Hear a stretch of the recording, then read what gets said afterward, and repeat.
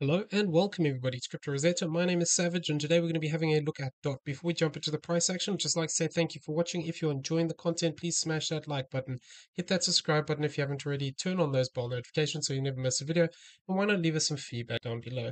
In the description you'll find links to Discord, come check it out, it's free to join. Okay, so what we're looking for here is further evidence that we could be looking for either this as a C wave to the upside, or potentially if this does become a bigger move, um, potentially in a third wave if we do move up towards this $12 area. So basically, what we're looking at here is potential that this has been a flat correction completed into here. So we need to discuss a few things um, on the macro here there is a few ways of looking at this move. We can potentially look at it as a and then potentially a Z, which with that one to one would be down here towards this 280, and this 344 would be a one to one of this move as an A, a B, and a C.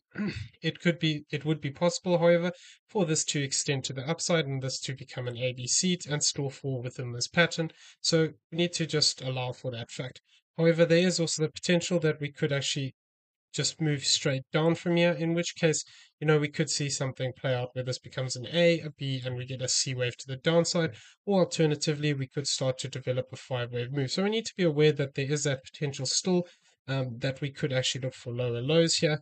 Really, we need to start overcoming some of these key points like this previous X wave up here at this 968 to get rid of this bearish potential within here.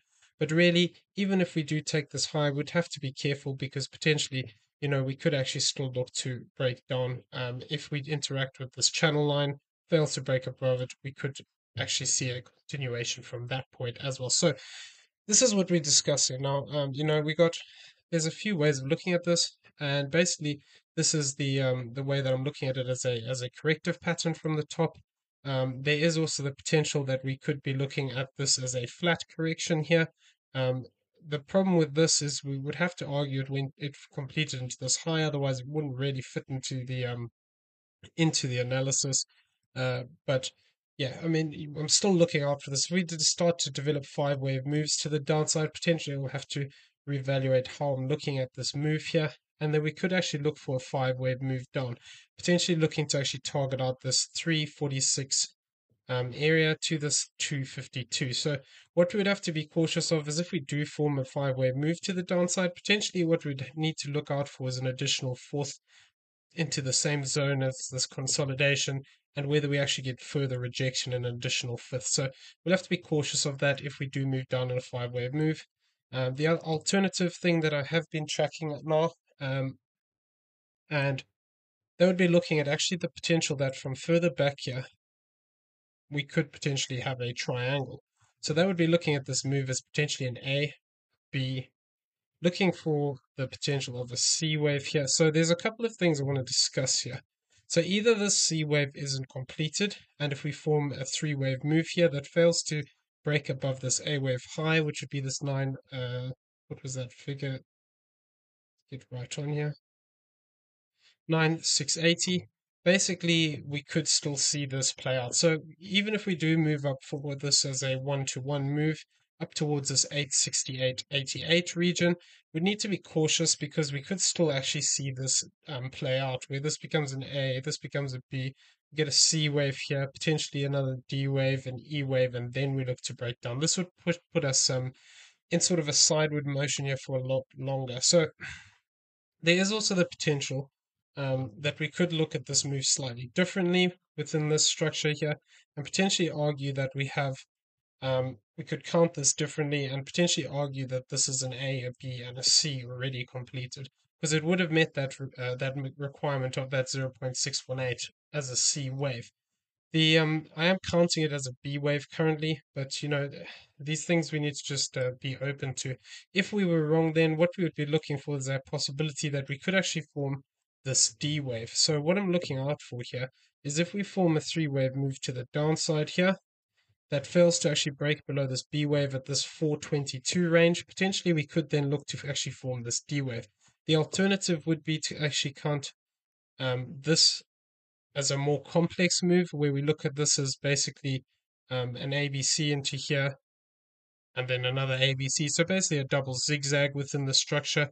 And this would then allow us to look at this as a more complex D wave Um, and then we could looking for this E wave right where we are now. So this is um this is interesting because we actually came down to the 0.618 of the C wave, and I want to see how we react at this 0.618 of this move here. Like I said, you know, it is potentially possible that this could be an A, a B, and we actually come back down, and then we've got that D wave um, low at that point. But this is also a possibility. If we look at this as a one, two, three, four, and a 5 into here, this is a B, we form another C wave up here, uh, not taking this high point of 790. Potentially in this area, we could actually have this as a triangle. And then if we start to develop five wave structure to the downside off the back of this, um, which does manage to actually come down and break this low of this 422, then it would be probable that this is actually a triangle in a fourth wave and that possibly we are looking at um, this bearish alternative where we're looking for this still to be a fourth wave within here and then we're going to potentially look to move down towards this 346 range to this 252 range.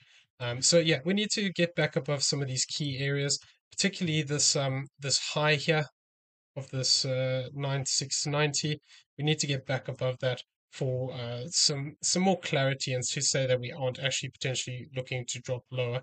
So the alternative that we're also looking at here is, you know, we can or we can potentially argue that um, within this this Z wave could actually be completed here with a three wave move and then that's the end of the structure.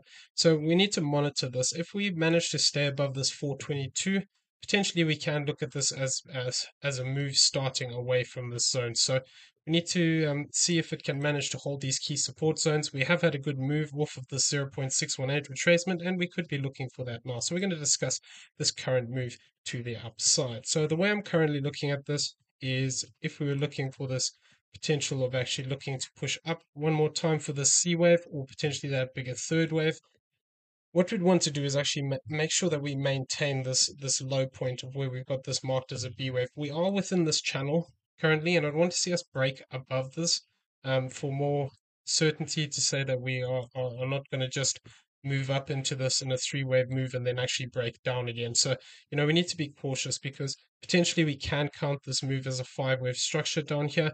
Um, so we need to be cautious that we don't actually have this forming as a one, two, or an A, a B, and then we look to break down. So that's what I'm currently looking at within these within these structures. That possibility that you know we could we could see a further continuation to the downside. So this would be that breakdown. We can see here this red box area would be a typical zone we would actually look for rejection. So that 618 is here, the 670. This golden pocket's right between this uh, 680 and the 670 zone. Uh, also quite interesting, we have a swing high here within this region. If we had to interact with this, as well as the channel and potentially start to sell off deeper, it could indicate that we're looking for a zigzag here um, in which case we could actually come back and retest the bottom of this channel. If we start to lose this 473 zo zone, though, it becomes less likely that um, this is a wave, a wave um, two to the downside, where we're looking for this as a, a sorry, as a one, a two, and then we're looking to progress to the upside. If we start to lose this 473 zone, you know, we need to be very careful because this could actually look to actually take this low of this 422 and invalidate any bullish potential that we have currently. So this is something we've got to just bear in mind. Really, until we actually take this low back here at this 515, we can still look for some bullish potential. So we're going to discuss that now. So the way I'm currently looking at this move to the upside is the way um, it's basically looking for looking at this in two ways. So I'm looking to see whether this could just be a three wave move in which case what we could end up having is just a move like this, where this becomes an A, B, and a C, so to the upside. So within this structure here, I'm going to come to smaller time frames for this. The way I'm currently looking at it, we can we can move these counts around a little bit. We could argue that this is a 1, 2 into here. This is a 3, 4, and then a 5 already completed. Or alternatively, even then, you know, within that, we could still see this looking for one more push to the upside here. So the way I'm currently looking for it is whether we're going to get a push one more time up here towards this 6, uh, 681 to this 674 area. This could be a potentially interesting zone if we do move up in a five wave move into this area. What we'll have to see is whether we actually whether that is actually the completion of this third wave up here, or whether actually our third wave was here. This is our fourth, and then we're looking um, for this zone for this fifth wave. So ideally, I'd like to see one more wave up here. Uh, we can argue that within here, this is uh, one, two, three, four, and then five, but uh, you know, it would be neater if this was a fourth and an additional fifth here. So we're going to have to see if we move up into this zone and then we actually come back and retest this lower range here, then potentially we could look for one more uh, move to the upside and then potentially looking for moving up higher into the zone of the 694 to this 6791 range. So that, that's what I'm looking for with a potential to move up into this area.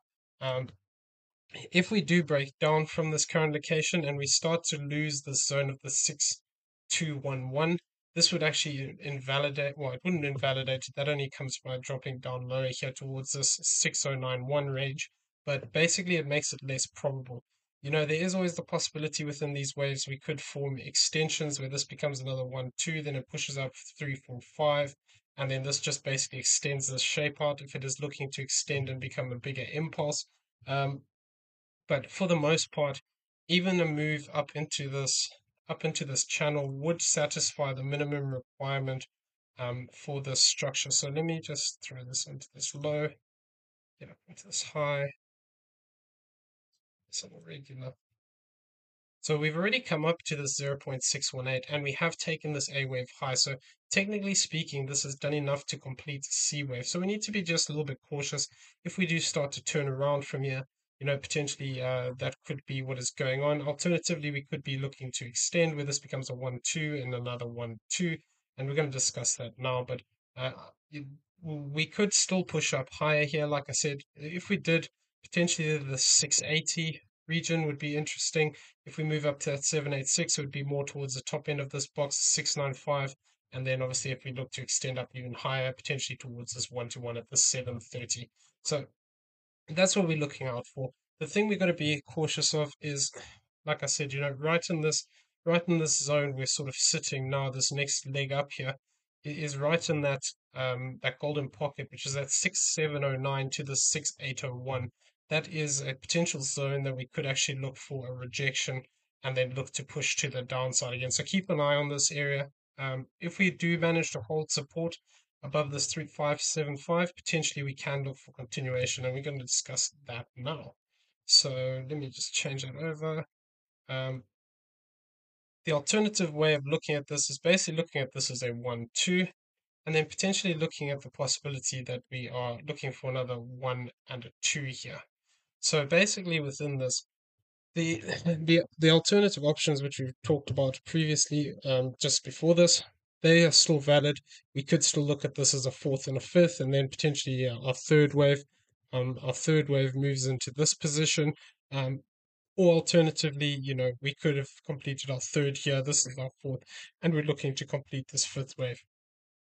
So the key difference here is basically within this count, what we would be looking for would be um, would be looking to actually maintain this 211 to this 594 on the retracement. So if we move up here and then we start to reject down, but we only reject down with a three wave move, which looks to target out this 6211 to this 59, uh, 594 range. Potentially, it could be setting us up for a bigger move here, looking for this to actually become a bigger structure, looking to push off to the upside and potentially um, move up into this zone of this 779 area up here as a 1.618 move. So that would be off of this 0.618. So we're going to need to see how this plays out. If we do develop a bigger move like this up into this area, what I'd be looking for is then additional potential for a fourth and a fifth. And then if this move actually moved up higher here, you know, potentially past this zone here of this 845, what we'd then be looking for would be a, the potential of forming another fourth and a fifth wave here. It is still possible for this third wave to finish short of this. Um, it just becomes, we just get more confident in the fact of that um, when we move past this 1618. Though even if we do move past 1, 1.618, we need to wait for evidence of this fourth because sometimes what we'll get is we'll get a three wave move which moves up to this 1618 but then actually comes back down and it crosses this high point, invalidating um, impulsive structure. So it's not guaranteed just by crossing this that we'll get a fourth and a fifth, but it is the first um, thing that we sort of start to look for. If we do then get that, we could look to actually push up higher towards this uh, 929 to this 878 region. So this is what we're looking out for. And this could then tie into that idea of having that bigger that bigger move to the upside here, we are looking at this as a as an ABC pattern. So that one to one is actually up here, this eight, six, eight. So you can see how this would actually then tie into actually getting us up there. But we've got to overcome this channel. We need to maintain these support zones. This 575 area needs to hold. And if we do start to retrace down here, we do need to hold above this um 59448 um, so 5948. Basically, this is going to be our key area. If we start to break through this, uh, it starts to become less likely that this is going to hold. And then we'd have to be on the lookout for the potential that we could be starting a, another sell off, which could look to bring us back into the support box. And we find support potentially lower down here towards a 786, or alternatively, this could then be starting a bigger move to the downside where, you know, this could become an A, B, and a C, which potentially could take us past this low.